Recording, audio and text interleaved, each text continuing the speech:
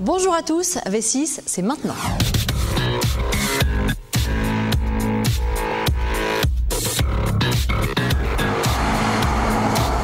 Bonjour à toutes et à tous et bienvenue dans V6. Je suis ravie de vous retrouver au circuit de l'Ouest parisien. Alors vous le savez, c'est la série des comédiens qui a lieu ce mois-ci dans V6 et aujourd'hui nous recevons un acteur qui s'est notamment illustré dans Bienvenue chez les Ch'tis ou encore Mais qui a retué Pamela Rose Il aime l'automobile, normal, c'est un homme. Il s'appelle Guy Lecluise et on le retrouve juste après le sommaire. Au sommaire cette semaine, Margot reçoit Guy Lecluise. Passionné d'automobile, Guy Lecluise s'est illustré dans Bienvenue chez les Ch'tis et plus récemment avec Dave dans Une chanson pour ma mère. Hein? Oh non, cherchez le 1 de 1 de tronche. Ouais, parce qu'il faut que ça sorte de là, là. Formidable.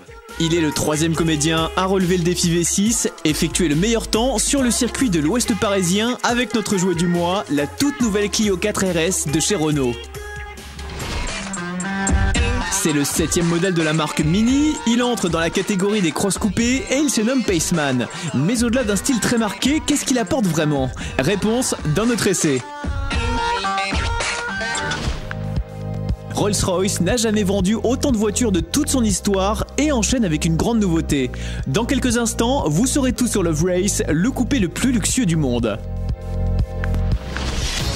Et comme chaque semaine, un point complet sur les news du monde de l'automobile et les incontournables insolites du web. Me voici maintenant en compagnie de notre invité du jour, Guy Lecluise. Comment ça va Guy? Très bien, merci Bienvenue. de l'invitation, hein, Bah non, Ah, bienvenue, on est ravis que tu sois venu jusqu'à nous surtout. Super. Ouais. Bah écoute, moi je suis ravi parce que. Lecluise, ça vient d'où? Le Cluise, ah, euh, c'est du nord de la France, même un peu flamand, euh, un peu hollandais. C'est la même racine que l'écluse, euh, huisserie aussi. quand tu dis oui, ces oui, noms. parce qu'il y, a- il y a- Ah, tous ces noms là. il y a deux écoles euh, chez les Hollandais, soit c'était des, des gueux. Ils s'occupaient soit des écluses ou huisserie, huissiers, Ah, des, oh, des oui, gars un oh. peu plus, tu vois, bon, bah, voilà. Négatif quoi. Bon alors, comment on roule euh, dans le Nord? On roule bien, enfin Ouais. quand il n'y a pas de neige. Déjà Mais du coup c'est plus marrant.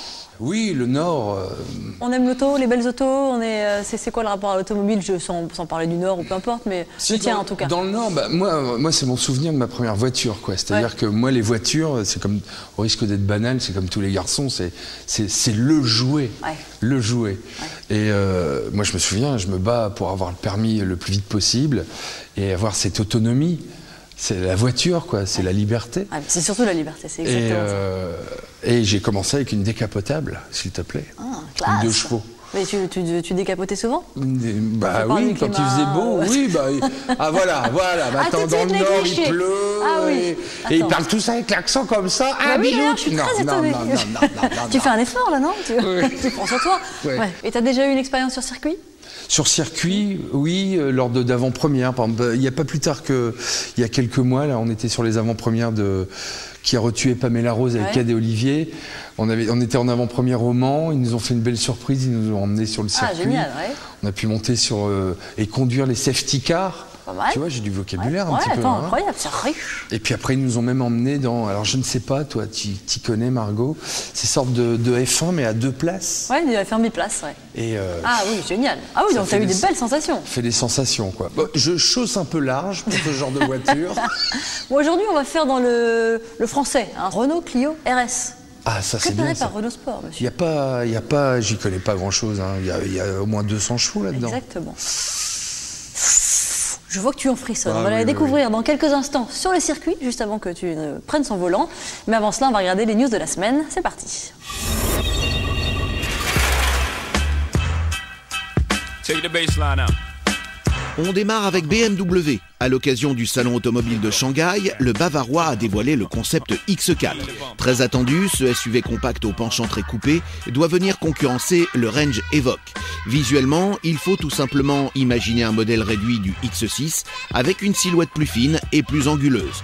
Long de 4,64 m, ce concept préfigure à 99% le X4 de série qui doit arriver pour début 2014, une affaire à suivre.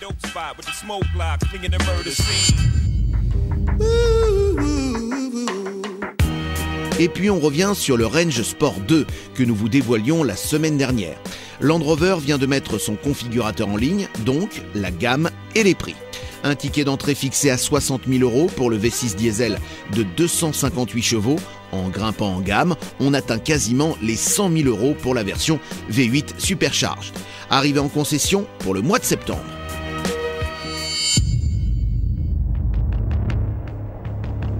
On enchaîne avec Chevrolet qui vient de dévoiler à New York un premier lifting pour la Camaro, l'occasion de présenter sa version Z28. Il s'agit d'un hommage à une sportive qui courut en compétition transaméricaine au siècle dernier. Au-delà du style plus bestial que jamais, cette Camaro renferme le V8 7 litres de la Corvette Z06 pour atteindre 507 chevaux. Voilà qui devrait suffire pour s'amuser un peu.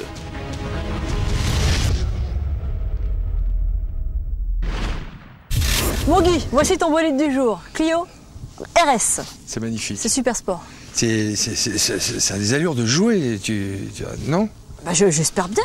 J'espère que je te fais rêver avec cette voiture. J'ai le palpitant qui, euh, qui y va là. Ça, ça carbure. Ouais. On regarde une petite présentation et on en reparle juste après. Oh, c'est beau.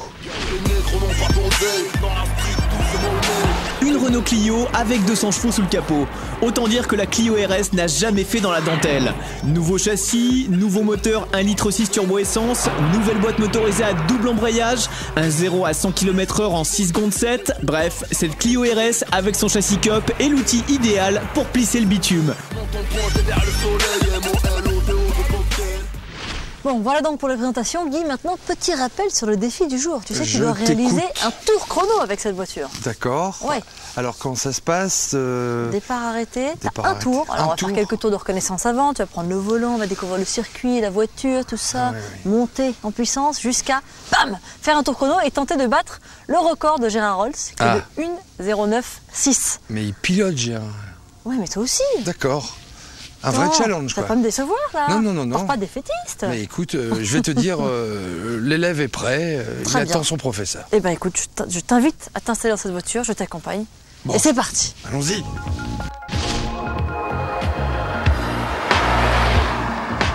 Là, il y a un petit coup de frein. Ouais.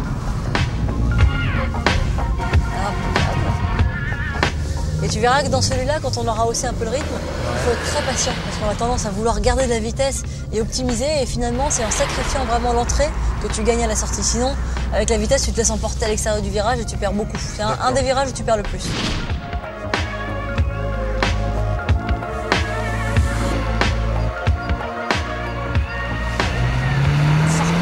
Ah, je m'imagine, c'est ce que tu vas me faire tout à l'heure, je vais être malade.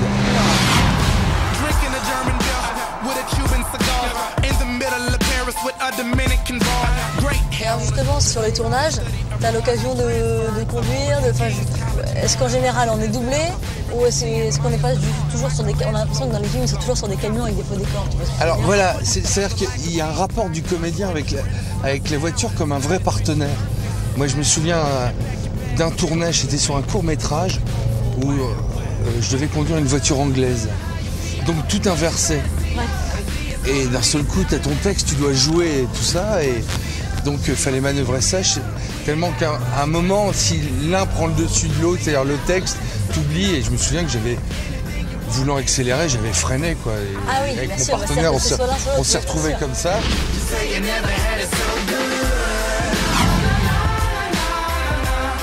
Le fameux camion euh, travelling, enfin où mettre la voiture dessus, si tu n'as pas les bons gestes, c'était ridicule quoi. Oui, C'est-à-dire que ça doit, être pas, ça doit pas être facile de faire semblant. voilà, de- c'est-à-dire que tu te retrouves à parler pendant 10 minutes comme ça, sans jamais regarder la route, et à l'arrière tu vois que la voiture tourne, va à gauche, à droite. Toi, tu mets jamais de coup de volant. ouais.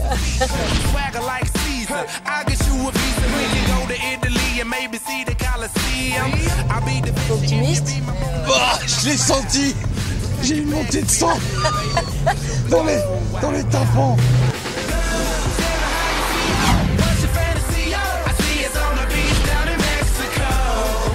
M'as l'air fin prêt pour ton chrono, euh, Guy. Bon, On est bien On va aller se mettre en place tranquillement. si tu me le dis, je te fais entièrement confiance. J'ai- J'ai foi en toi. On va aller se mettre en place, mais en attendant, on va regarder l'essai de la semaine. On va retrouver Nicolas Hede. Il est parti du côté de l'Italie pour prendre en main la toute nouvelle Mini Paceman. Voilà ce que ça donne.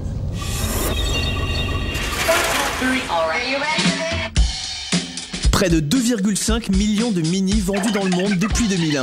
En 12 ans, le constructeur a su développer sa gamme avec 6 modèles différents. Le septième se nomme Paceman, un véhicule qui mise avant tout sur le look, comme la plupart des Mini d'ailleurs, mais au-delà de son côté bon chic belle gueule, qu'est-ce qu'il apporte vraiment ce Paceman?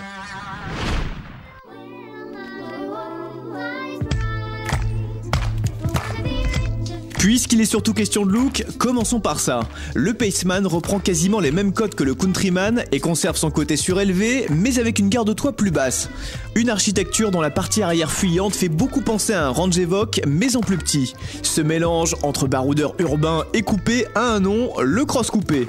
À l'arrivée, le Paceman ne plaira peut-être pas à tout le monde, mais son style interpelle.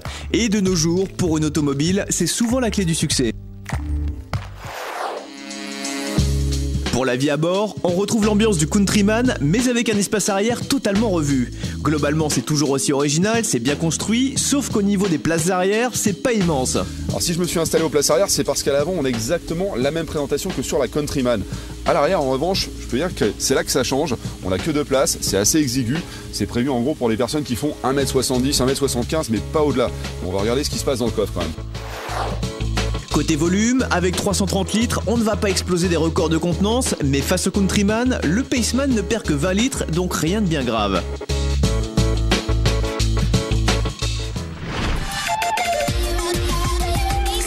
On passe au moteur. Notre version Cooper SD utilise un bloc 2 litres diesel prélevé directement chez BMW.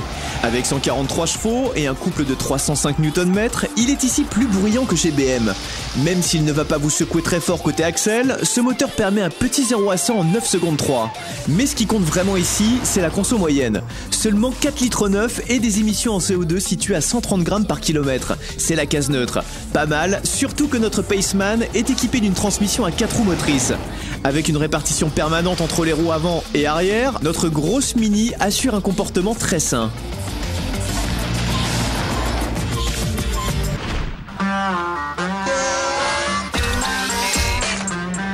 Petit plus tout de même, comme son frangin Countryman, le Paceman peut tenter le mode aventurier, version light. Équipé ici de pneus hiver, il se révèle même très à l'aise là où d'autres seraient obligés de rebrousser chemin. Explication. Alors c'est vrai que malgré son côté branchouille très urbain, bah, cette Mini Paceman elle a quand même euh, une autre particularité, c'est qu'elle a 4 roues motrices.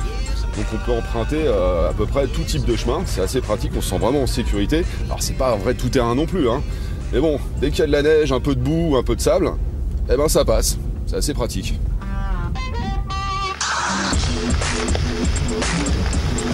Allez, on passe à la caisse. 32 300 euros pour notre version, c'est franchement pas donné. Mais rassurez-vous, ce genre de tarif, cela n'a jamais empêché la marque Mini de vendre beaucoup de voitures. Alors, on passe au verdict. Alors verdict sur cette mini Paceman, bah, c'est vrai qu'elle n'est pas aussi pratique qu'une Countryman, elle est moins familiale. Par contre elle est plus pratique qu'une mini normale, la petite citadine, parce que justement elle permet d'aller sur tout type de chemin, ce qui est bien. Puis bien sûr elle a ce look qui est vraiment hors du commun. Alors c'est 7 sur 10. Bon Guy, ça y est, de retour dans la Clio RS pour faire le tour chrono maintenant. T'es stressé?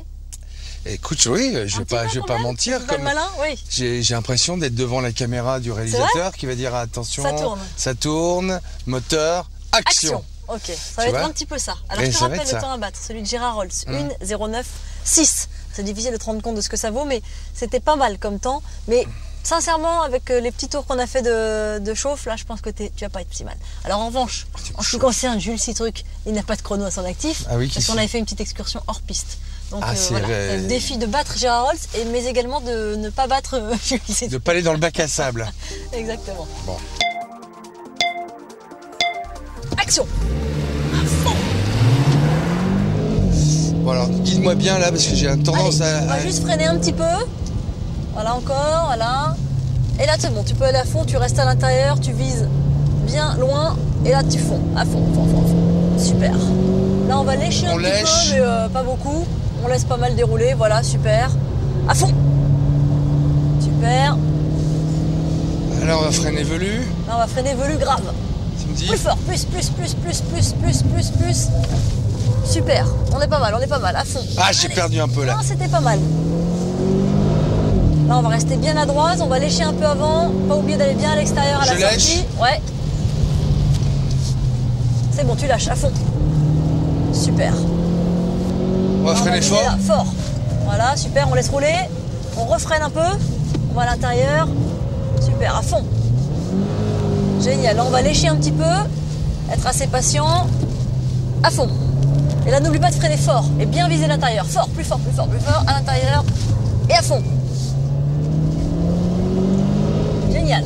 C'est pas mal là. Ah alors, alors, euh, mon cher Guy, ça t'a plu? Oui, oui, oui, oui. oui. J'ai vu que tu t'es donné à fond, t'avais plus de, de, Ah, de salive, t'étais très très concentré. Oui, mais- En apnée presque, non? Ouais. Mais tu sais que je suis, je, suis, je, suis, je suis- je suis un bon élève. Ouais, j'ai le, le bonhomme. Voilà, c'est ça. C'est-à-dire que je suis toujours à la hauteur de mes professeurs. Je te renvoie la Oh, balle et je te dis mille fois merci Margot, c'est un plaisir euh, parce que c'est clair et net et je suis conducteur, tu es pilote, voilà toutes les différences. Écoute, tu t'en es hyper bien sorti. On grave. avait des conditions idéales, piste sèche, le soleil et tout. La voiture qui marche. Ouais. On parle des chronos ou Alors fallait battre euh, Gérard Rolls Qui avait fait 0996. 1.09.6. Ouais, monsieur. Je me rends pas compte, j'ai l'impression qu'on a mis trois quarts d'heure à tourner, ça a duré ben non, deux heures. T'as été rapide, t'as été plus rapide que lui. Non Oui, je te Oh, le promets. Non 1,088. 1.088. Ça nous fait 8 dixièmes de mieux, monsieur. C'est énorme. C'est énorme sur un Tu crois grâce à Tu mon lui as collé une potée, hein. C'est vrai Ouais, une potée. Alors, La prochaine fois que je le croise, je peux un peu faire le beau, le ah, tu coq. peux, ah, ah, tu, ah, tu peux te raconter, hein. Ah oui. En plus, merci. tu fais bien, donc ça Grâce à toi. Grâce à l'épargne, tu Non, crois, c'est là que j'ai gagné C'est- ouais, Je pense que tu as tout gagné dans l'épingle. C'est vrai Ouais, vitesse de passage même dans les autres. Non, t'étais bien. Franchement, je n'ai rien à redire. Bravo. Tu te rends Mais compte c'est ça pas fini. C'est pas fini. Il y a un autre challenge Ouais, Ah oui, il faut, faut monter à côté de toi et, ça. et ne pas être malade. c'est ça. Bon, bah écoute, je suis prêt. Tu vas monter à mes côtés. Mais avant cela, nous allons regarder la rubrique insolite de cette émission. C'est en quelque sorte les vidéos euh, et les spots de pub les plus fous qu'on voit sur le web. On les découvre tout de suite. D'ailleurs, il y a un petit passage sur toi.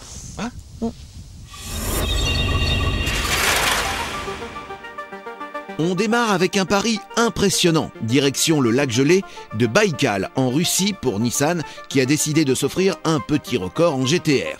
Armée de 550 chevaux, la sportive maison a réussi à atteindre la vitesse de 294,8 km/h sur la glace. Une vraie prouesse et surtout des images tout simplement sublimes, on vous laisse apprécier.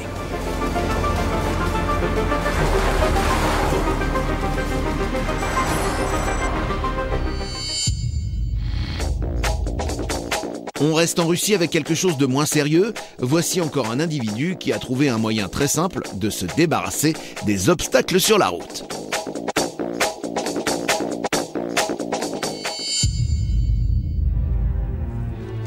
Pour finir, pas question d'automobile, mais plutôt un hommage à Guy Lecluise, notre invité. Le voici dans une pub diffusée à l'occasion du Super Bowl 2011.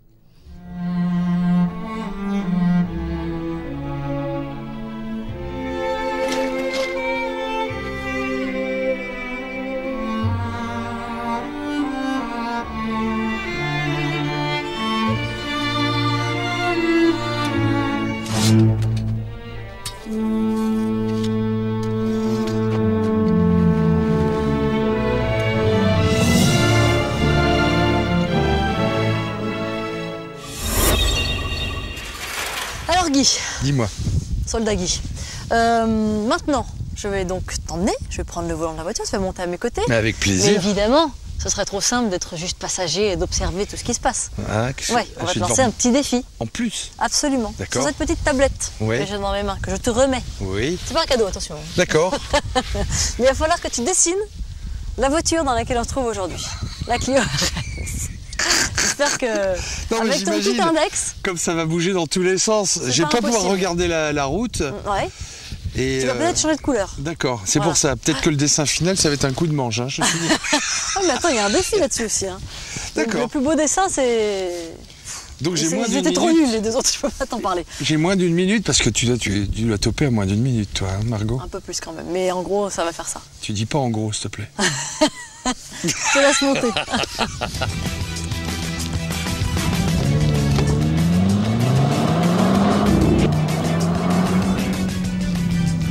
Les virages pour dessiner. Hein. Tu m'aides pas, Margot C'est pas le but, hein. Bon. Quelle diablesse de femme que tu es. Ouah, le virage.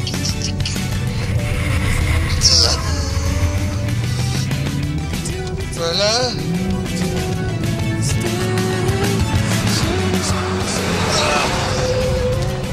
T'as pas le droit de me faire ça.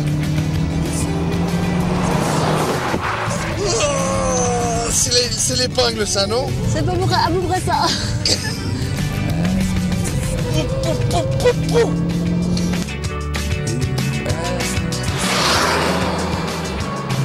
Je vais quand même dessiner les freins que tu n'utilises pas.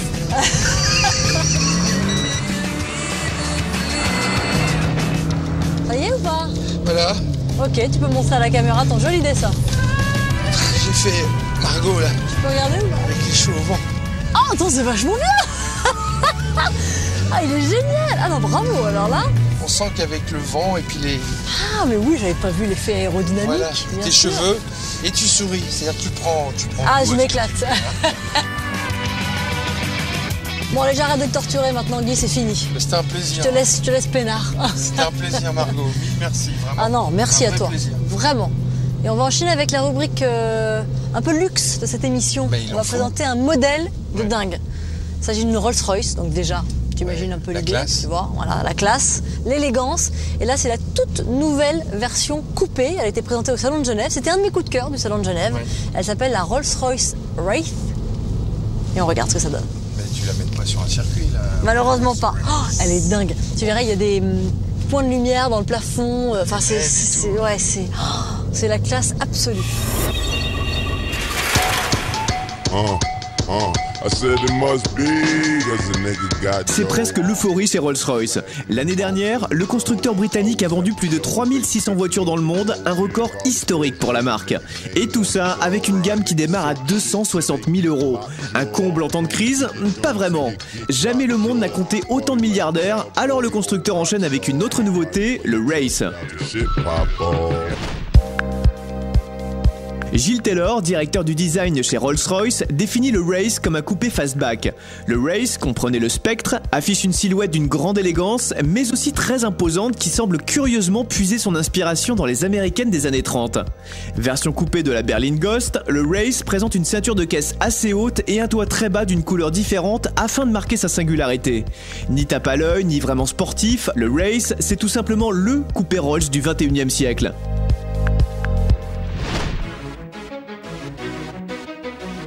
Typique de chez en revanche, les portes dites suicide à ouverture inversée dévoilent un habitacle d'une rare élégance. Tous les matériaux sont choisis avec le plus grand soin. À elles seules, les contreportes, avec leur habillage en bois canadel massif, représentent un très haut niveau de raffinement. Le système audio de 1300 watts et la connexion permanente à une conciergerie en deviennent presque accessoires. Le Race, une Rolls-Royce qui n'a pas besoin de chauffeur. Et pour cause, elle abrite un V12 6 litres 6 biturbo de 624 chevaux pour un couple de 800 Nm. La Rolls la plus puissante de l'histoire.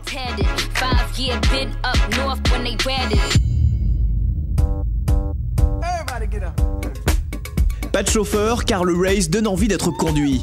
Un 0 à 100 km/h pulvérisé en 4 secondes 6 seulement pour un poids global frisant les 2 tonnes 4, c'est effectivement la Rolls la plus performante jamais conçue. Tarif du must, 245 000 euros et des livraisons qui doivent démarrer pour la fin de l'année. De toute évidence, la marque Rolls-Royce n'a pas fini de faire parler d'elle.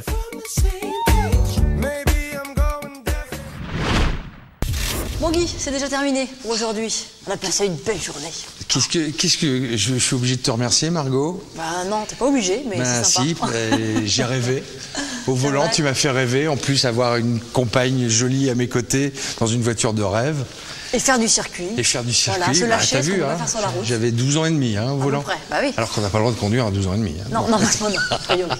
Bon, la suite euh, pour toi, Guy, c'est euh, le film qui est sorti, qui est déjà dans les salles. Une chanson pour ma mère avec Dave, avec euh, Patrick Timsit et Sylvie Testu, voilà. Et euh, bon, bah ça marche bien, Ouais, on est C'est content. bien. Et, un petit teaser. Oui, Ouais, bah, un petit pitch, rapide. mais vous- on peut passer les images? On peut passer les Ouais. images complètement. Oh, Regardez. Il a laissé filer avec ses conneries.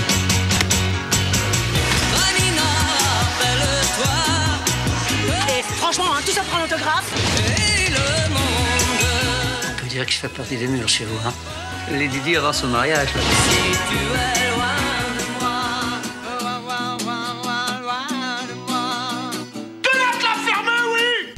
Et après, des projets pour 2013, 2014 Alors, moi, je suis pas superstitieux, mais euh, je- en 2014, je risque de rejoindre mon parrain du cinéma, qui est Olivier Marchal, qui me fait faire le voilà un du cinéma. policier? Voilà. Bon, écoute, bonne continuation. En tout cas, merci d'être venu jusqu'à nous. C'était un plaisir de te recevoir. Eh ben, Partager ces moments avec toi de voiture, de bagnole. Merci Margot, bonne continuation À toi et à vous aussi. Allez, Vessi, c'est terminé pour aujourd'hui. Merci d'avoir été avec nous. Rendez-vous la semaine prochaine, même jour, même heure. On recevra le dernier invité de la série des comédiens. Il s'appelle Tarek Boudali. Salut à tous, très bonne semaine.